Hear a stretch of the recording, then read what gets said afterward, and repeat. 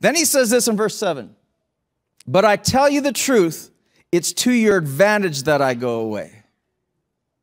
Now, Jesus said some um, profound things, many profound things. I mean, in his messages and his parables and uh, his talks, no other human being that's ever walked this planet has more recorded words and, and more people remembering and quoting what he said and repeating his speeches and all the rest of it. Jesus had profound things. I mean, a lot of the sayings that we have still today, 2,000 years later, guess where they came from?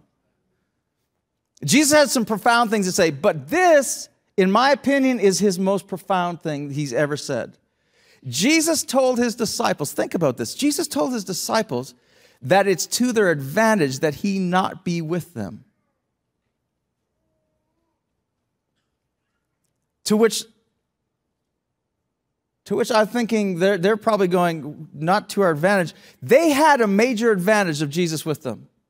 Don't you think? I mean, think about it. They went through a storm that was so bad they were afraid for their lives. This wasn't a, they, these guys weren't amateur sailors. They grew up on the water. Their, their dads were fishermen. They were fishermen.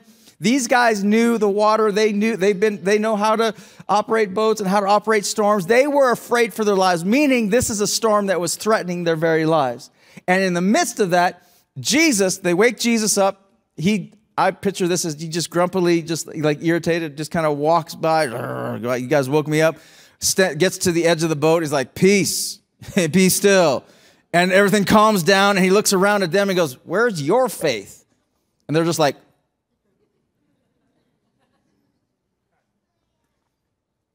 Yeah, they had an advantage of Jesus being their best friend. When one of them dies, four days later, Jesus is like, Lazarus, come out. He walks out. When they got sick, when Peter's mother in law got sick, Jesus, talk about marriage help. Like, like whatever your situation, Jesus was there. And now he's saying to them, it's to your advantage that I'm not with you. To which they're looking around and going, it, it doesn't get any better. Like, what are you talking about? They didn't understand then, but here's the thing I don't think we understand now. Because what Jesus is, Jesus is not just saying this to them, Jesus is saying this to us now today. He's saying, It is better, think about this, it is better that we have the Holy Spirit in us than if Jesus were sitting here on the front row in church right now today attending our church. It's better. Think about that. It's better. It's to our advantage that Jesus is not here physically in the room, but that we have the Holy Spirit. Do you think we underestimate the Holy Spirit? And I'm thinking, I, do. And I, I read this, I was like, it's to, it's to our advantage. Wow. And then he says, For if I do not go away, the Helper will not come to you, but if I go, I will send him to you. Then he says, verse 12, I have many more things to say to you, but you cannot bear them now. I hate that when people say that. It just irritates me. People are like, I got so much to say, I just, I just can't tell you now. You're not ready for it what do I think about for the rest? Like, what am I not ready for? Like, like what do you what do you got to say? Like, what else do you want to know? I'd like I'd be I was like, was, this would drive me crazy.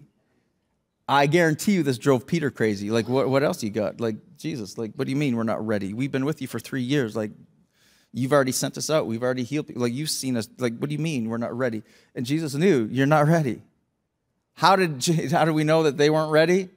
Because the this night right after this three chapter, four chapter pep talk, what happens? Jesus gets arrested, and what happens to these guys?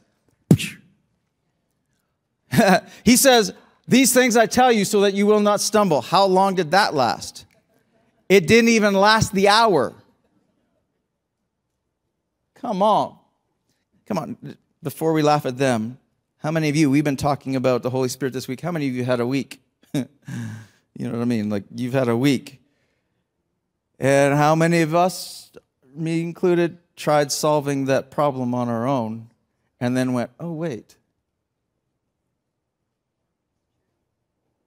We just preached about it last week, and we can't even get through a week. Disciples couldn't get through an hour. Like, help me, Jesus.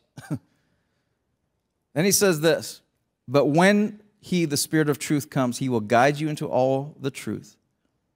For he will not speak on his own initiative, but whatever he hears, he will speak. Hears from the Father, he will speak, and he will disclose to you what is to come.